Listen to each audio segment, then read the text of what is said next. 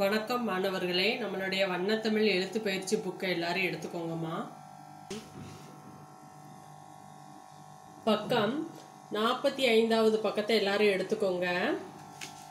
இன்னைக்கு பார்க்க போகிறது பாருங்க தேசிய விலங்கு. நம்ம ஏற்கனவே பார்த்தோம்ல நமது நாடு இந்தியா அப்புறம் தேசிய சின்னம் அசோக சக்கரம் அப்படிங்கிறத பார்த்தோம். தேசிய மலர் என்னன்னு பார்த்தோம் தாமரைன்னு பார்த்தோம்ல அதே மாதிரி தேசிய கொடி என்னதுமா? மூவண்ண கொடி. தேசிய கீதம் ஜனகண மன தேசிய பாடல் வந்தே மாதரம்ங்கிற வரைக்கும் என்ன செஞ்சோம்? பார்த்தோம். நாற்பத்தி நாலாவது வரைக்கும் சென்ற வகுப்புல பார்த்தோம். இன்னைக்கு பார்க்க போறது நாற்பத்தி ஐந்தாவது பக்கத்துல. பாருங்க. தேசிய விலங்கு. நம்மளுடைய தேசிய விலங்கு என்னன்னு பாத்தீங்கன்னா புலி. நம்மளுடைய தேசிய விலங்கு என்னதுமா? புலி. சரியா? இதை எப்படி எழுதணும்னு சொல்லி கொடுக்குறேன். அடுத்தடுத்து நீங்க எழுதிக்கோங்க. இதுக்கு மேலே இருக்கிறதுல நீங்கள் எழுதி பழகிக்கோங்க. இது அதுக்கடுத்து கீழே எப்படி எழுதணும் பாருங்கள் தேசிய விலங்கு புலி. பாருங்க சொல்லிக்கிட்டே எழுதணும். தே சி ஏ தேசிய விலங்கு. வி லா இங் கு விலங்கு. சரியா? தேசிய விலங்கு என்னதுமா? புலி. பூ லீ புலி. புலினா நீங்கள் என்ன நினைக்கணும்? வீட்டில் சமையலுக்கு பண்ணுவாங்களே? அந்த புலின்னு சொ நினச்சிடக்கூடாது. சரிங்களா? நம்ம காட்டில் இருக்கும்ல? அந்த புளி புளி எல்லாரும் பார்த்துருப்பீங்க. அப்படி தானே படத்தில் பார்த்துருப்பீங்க. நேராக பார்த்துருக்க மாட்டீங்க. அப்படி தானே காட்டில் வாழக்கூடியது மிருகங்கள் விலங்குகள்னு சொல்வோம்ல நிறைய விலங்குகள்லாம் இருக்கும். அதில் நம்மளுடைய தேசிய விலங்கு என்னதுமா? புலி. சரிங்களா? அடுத்து பாருங்க. நம்மளுடைய தேசிய பறவை. நம்மளுடைய தேசிய பறவை என்னதுன்னு பார்த்தீங்கன்னா மயில். மயில் அழகாக தொகை விரித்து ஆடும் அப்படிங்கிறத நம்ம பார்த்துருக்கோம். அதைத்தான் நம்மளுடைய தேசிய பறவையாக இருக்குது. சரிங்களா? இதை எப்படி எழுதணும்னு பாருங்க. பாருங்க. நம்மளுடைய தேசிய பறவை என்னதுமா கொடுத்துருக்காங்க? மயில். நம்மளுடைய தேசிய பறவை என்னதுமா? மயில். இதை எப்படி எழுதணும்னு பாருங்க. தே சி இப். தேசிய ப ர வை.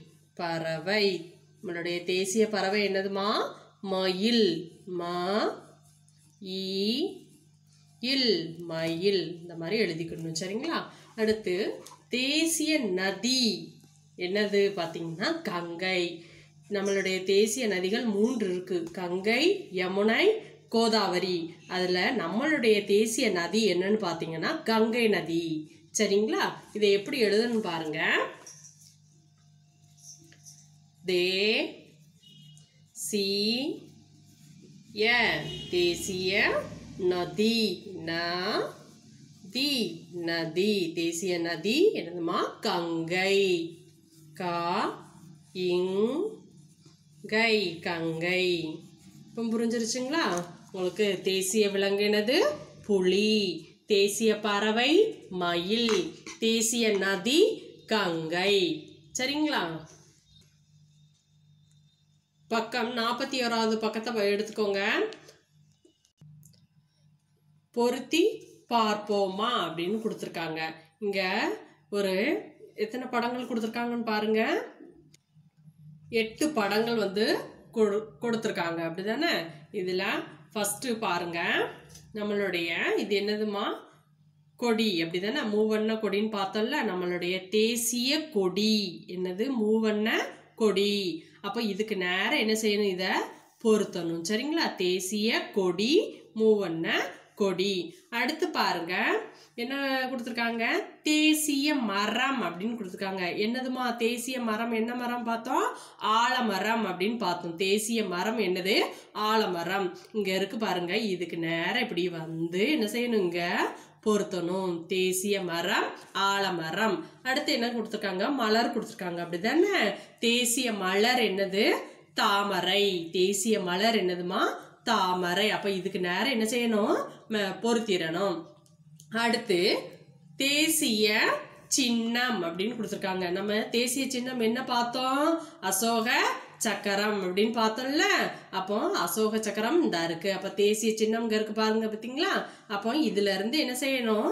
இப்படி பொருத்திக்கணும். சரிங்களா? அடுத்து நம்மளுடைய தேசிய விளையாட்டு என்னதுமா பார்த்தோம்? ஆ வெரி குட் என்னதுமா விளையாட்டுன்னா எல்லாருக்கும் ஞாபகம் வரும். அப்படிதானே ஹாக்கி. நம்மளுடைய தேசிய விளையாட்டு என்னது? ஹாக்கி. அப்போ இதுக்கு நேரம் என்ன செய்யணும்? இப்படி பொருத்திக்கிடணும். சரிங்களா? அடுத்து தேசிய கனி அப்படின்னு பார்த்தோம். அப்படிதானே? தேசிய கனி என்னன்னு பார்த்தோம். மாம்பழம். தேசிய கனி என்னதுமா? மாம்பழம் இந்த இருக்கு பார்த்தீங்களா? அப்போ இதுக்கு நேரம் என்ன செய்யணும்? மேலே இருந்து ஒரு கோடு போட்டுறணும். சரிங்களா? இப்படி பொருத்திக்கணும். தேசிய கனி என்னது? மாம்பழம். அடுத்து என்னது பார்த்தோம்? தேசிய விலங்கு பார்த்தோம்ல. என்னது? என்னதுமா? ஆ வெரி குட் புலி. நம்மளுடைய தேசிய விலங்கு என்னதுன்னு பார்த்தீங்கன்னா புலி. அப்போ தேசிய விலங்கு அப்படின்னு இதுக்கு நேரம் என்ன செய்யணும்? அந்த புளிக்கு நேரம் பொருத்திக்கிடணும். அடுத்து நம்மளுடைய தேசிய பறவை என்னது? மயில். நம்மளுடைய தேசிய பறவை என்னது? மயில். சரிங்களா? அப்போ தேசிய பறவைக்கு நேரம் என்ன செய்யணும்? இப்படி பொருத்திக்கிடணும். இந்த மாதிரி பொருத்திக்கோங்க. சரிங்களா? இதை மாதிரி என்ன செஞ்சுக்கோங்க? உங்களுடைய எழுத்து பயிற்சி புக்கில் பொருத்தி எழுதி மேட்ச் பண்ணிக்கோங்க. சரிங்களா? பக்கம் நாற்பத்தி ஏழாவது பக்கத்தில் பாருங்க. நம்ம இன்னைக்கு என்ன பார்க்க போகிறோம் புதிய ஆத்திச்சுடி. புதிய ஆத்திச்சுடி எழுதினவர் யாரு? இங்கே பாருங்க. இது இவர் யாருமா? பாரதியார். புதிய ஆத்திச்சுடி எழுதினது யார்? பாரதியார். பாருங்க. ஃபர்ஸ்ட் என்ன கொடுத்துருக்காங்க? அச்சம் தவீர் அப்படின்னு கொடுத்துருக்காங்க. என்னதுமா கொடுத்துருக்காங்க? அச்சம் தவீர். இதோட பொருள் என்னன்னு பார்த்தீங்கன்னா பயத்தை விட்டொழிக்க வேண்டும். எதுக்குமே என்ன செய்யக்கூடாது? பயப்படக்கூடாது அப்படிங்கிறதான் இதோட பொருள். இதை எப்படி எழுதணும்னு பாருங்க. நான் வந்து இதுக்கு மேலே எழுதுறேன். சரிங்களா? நீங்க இந்த பயிற்சியை என்ன செஞ்சுக்கணும்? கீழே எழுதிக்கணும். பாருங்க இது எப்படி எழுதணும்னு இதுக்கு மேலே எழுதி காட்டுறேன். ஆ இச் ச இம் அச்சம் தவீர் தா வி ஈர். தவிர் அச்சம் தவிர். இதோட பொருள் என்னது? பயத்தோட எப்பொழுதுமே இருக்கக்கூடாது. பயத்தை விட்டொழிக்க வேண்டும். எதுக்குமே துணிச்சலா இருக்கணும். சரிங்களா? அடுத்து பாருங்க. ஆண்மை தவறேல். என்னதுமா? ஆண்மை தவறேல். இதோட பொருள் என்ன அப்படின்னா எப்பொழுதுமே வீரத்தோட இருக்க வேண்டும். எப்பொழுதுமே என்ன செய்யும்? வீரமா இருக்கணும். சரிங்களா? ஆண்மை தவறேல் இதை எழுதுற பாருங்க. ஆ இன் மை. ஆண்மை தவறேல் த வ ரே இல் தவறேல். ஆண்மை தவறேல். அடுத்து என்ன கொடுத்துருக்காங்க? இலைத்தல் இகழ்ச்சி. இதோட பொருள் என்ன அப்படின்னு பார்த்தீங்கன்னா துடிப்புடன் இல்லாதது சோர்வடைந்திருப்பது இழிவாகும். என்னது? துடிப்புடன் இல்லாதது எதுவுமே ஒரு இன்ட்ரெஸ்ட் ஆர்வமே இல்லாமல் இருந்தால் எப்படி இருக்கும்? சோம்பேறித்தனமாக இருக்கும். அப்படி தானே அதை அதைத்தான் சொல்லியிருக்காங்க. இலைத்தல் இகழ்ச்சி. ஈ லை இத் த இல் இழைத்தல் இகழ்ச்சி இ, ஹ இல் இச்சி இகழ்ச்சி இழைத்தல் இகழ்ச்சி. ஃபஸ்ட்டு என்ன பார்த்தா அச்சம் தவிர் அப்படின்னா அது என்னது? பயத்தை விட்டொழிக்க வேண்டும். ரெண்டாவது ஆண்மை தவறேல். எப்பொழுதும் வீரத்தோட இருக்கணும்னு பார்த்தோம் மூணாவது என்னது? இழைத்தல் இகழ்ச்சி அப்படின்னா துடிப்புடன் இல்லாதது சோர்வடைந்திருப்பது இழிவாகும். எப்பொழுதுமே சோம்பேறித்தனமா இருக்கக்கூடாது. சரியா? சுறுசுறுப்பு இல்லாம இருக்கவே கூடாது. எப்பொழுதுமே ஆக்டிவா இருக்கணும். இழைத்தல் இகழ்ச்சி அடுத்து பாருங்க. ஈகை திறன் அப்படின்னு கொடுத்துருக்காங்கல்ல?